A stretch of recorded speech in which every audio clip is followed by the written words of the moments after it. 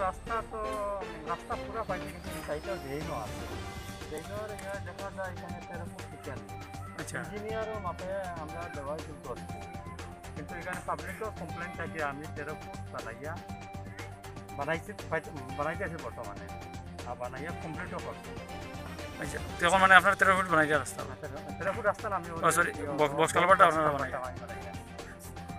যারা অভিযোগকারী, অভিযোগকারীরা তারা কৈছিল যে বর্তমানে যে পঞ্চায়েত প্রতিনিধিরা আছে, একদম এক্সপিরিয়েন্স তারা এই ব্যাপারে নাই। এটা এইসব এইসব ব্যাপার পঞ্চায়েত যারা আছে, তারা এইসব ইঞ্জিনিয়ারের কইয়া দেয়, কত ফুট কত ফুট না। তারপরে গিয়ে রাস্তাটা বনে। আপনারা ইঞ্জিনিয়ারের মারফত আপনারা যেহেতু কাজটা করছেন, তারা তো আপনার কর্মদক্ষতা নিয়ে প্রশ্ন তুলে। কিতা করবে আমার তো কিন্তু এটা ইঞ্জিনিয়ারের আমি ভুল করি কিন্তু ডায়াগ্রামটা যেভাবে ডিজাইন করে আমার জায়গা। আমরা সেরকম দিলেই সে আমি দশ ফুটটা বানাই, আমি সেরকম কোনোভাবে বানাই এখন আমি এখন পাবলিকের পাবলিকের জন্য সাথে বালাই তো আমার এখন বর্তমানে বিজেপি সরকার আমার মানুষের এত বিজেপি সরকারের বলা করে এর লাগে আমার নিজের উপরে লইয়া এখন।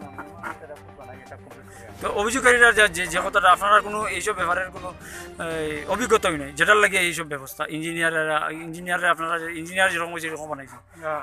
আপনারা কিন্তু কোনো এক্সপিরিয়েন্স এই ব্যাপারে নাই নি? আনএক্সপিরিয়েন্স হিসাবে আপনারা জনপ্রতিনিধি অভিযোগকারী